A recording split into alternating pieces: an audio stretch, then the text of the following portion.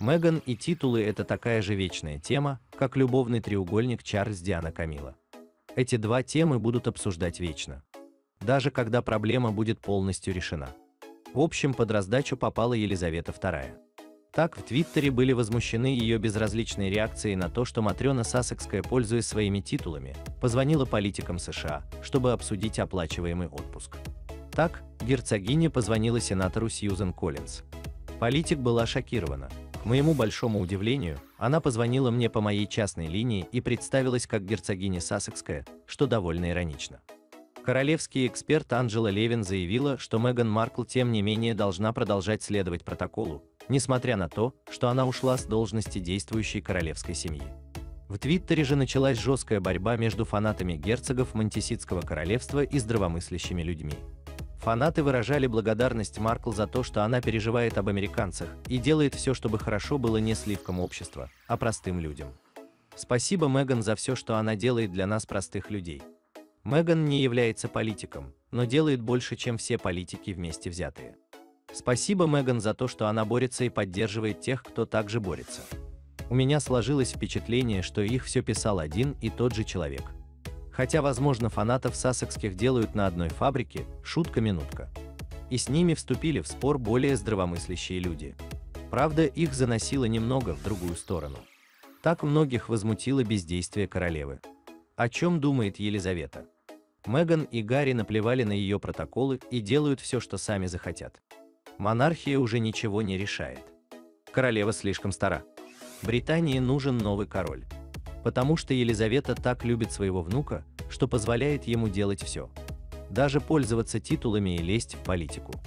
Если королева ничего не сделает, то Меган станет политиком. Пожалуйста, спасите народ Америки.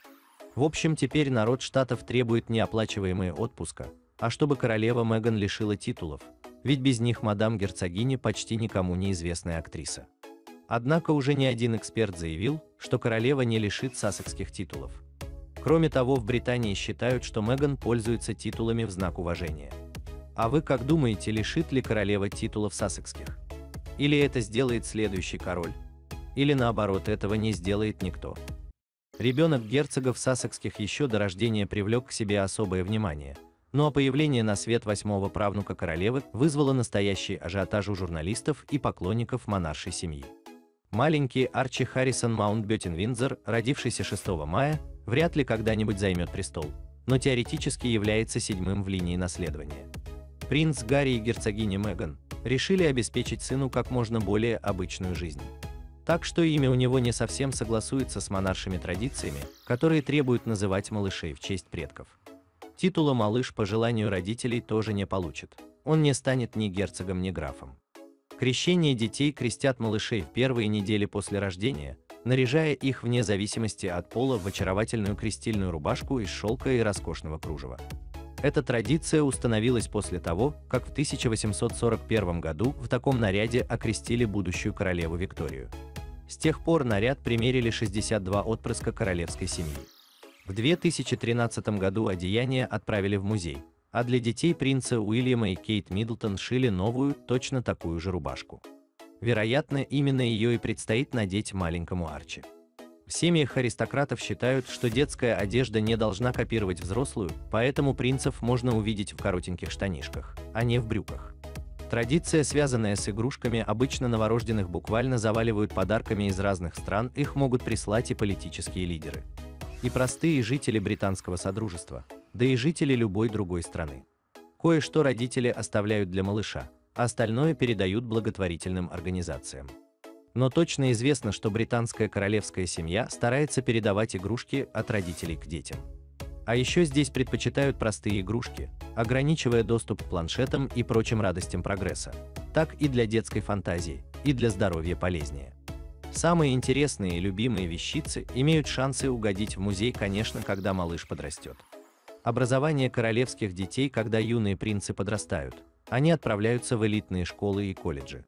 Такие как домашнее образование последней в семье получила Елизавета II, поступают в университеты.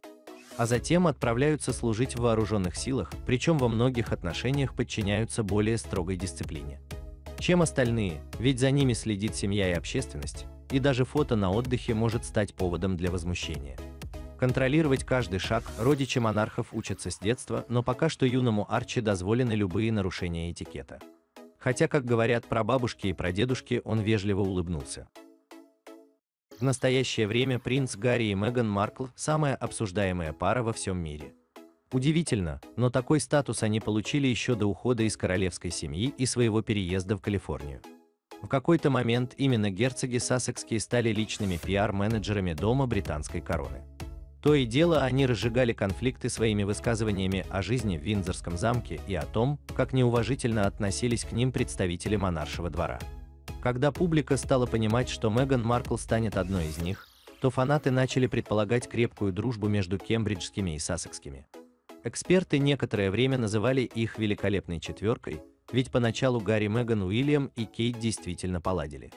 Принц Гарри всегда с особым трепетом говорил о своей супруге, и даже когда он еще не до конца понимал, что ждет его в будущем.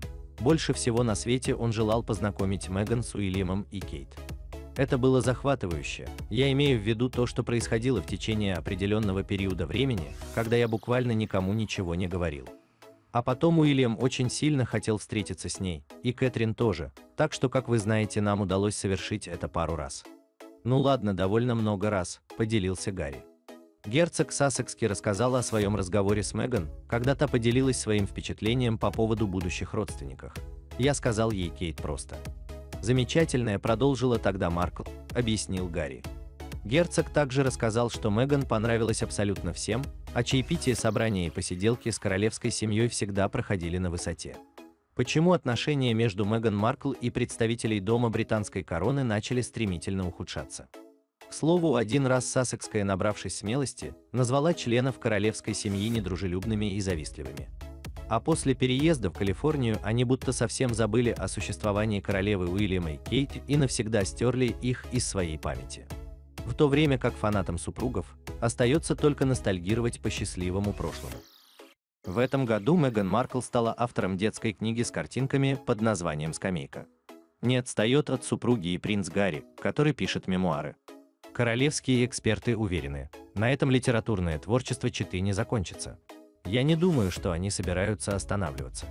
Это будет продолжаться. Меган и Гарри поняли, что книги – это огромная машина по зарабатыванию миллионов, говорит доктор Тесса Данлоп, которую цитирует «Экспресс». Ранее Маркл прочитала фрагмент из своей детской книги на YouTube. История предков герцога и герцогини пересекаются самым неожиданным и драматичным образом. О том, как порой причудливо тасуется колода в контексте генеалогии, рассуждал известный персонаж Булгакова. И принцу Гарри с Меган Маркл наверняка довелось увлеченно пообсуждать этот вопрос. Как выяснилось, у герцога и герцогини очень много общего. Отец американской актрисы, продюсер Томас Маркл, является потомком капитана Кристофера Хасси, который из Британии прибыл в Массачусетс в 1632 году. Кристофер Хасси – праправнук Ральфа Боуза, шерифа графства Дарем и владельца замка Стритлем. А праправнучка внука Ральфа Боуза Джорджа Мэри в 1767 году вышла замуж за Джона Лайона, графа Стратмор и Кингхорн. Так объединились династии Боуз и Лайон. Таким образом, у Меган обнаружилась связь с ее величеством в 15 поколении. Один из прапрапрадедов Меган, а именно лорд Хасси, первый барон Хасси Слифорда, член палаты лордов и великий камергер принцессы Марии, в будущем Марии I, также известный как Мария Кровавая. В первой половине XVI века стал одним из участников благодатного паломничества крупного восстания против Тюдоров, точнее против короля Генриха VIII предка Гарри. Главной причиной восстания было закрытие королем католических монастырей после разрыва с римско-католической церковью. После подавления бунта Генрих VIII отдал приказ обезглавить лорда Хасси. Связь Маркл с восставшим бароном Хасси обнаружил Майкл Рид, преподаватель из Австралии и большой фанат исторических исследований. Это невероятно. Один из прапрапрадедов Меган был рабом, другой крупным землевладельцем королевских кровей.